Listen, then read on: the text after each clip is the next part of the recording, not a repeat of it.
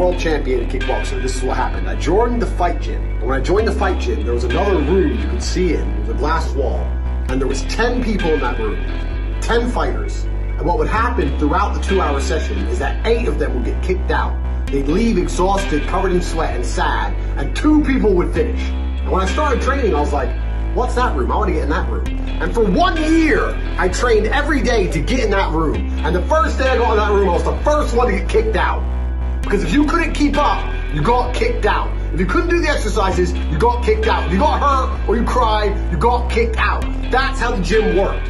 When I became world champion, my last training session before I became world champion, the last training session, the first time I ever made it to the final fucking two.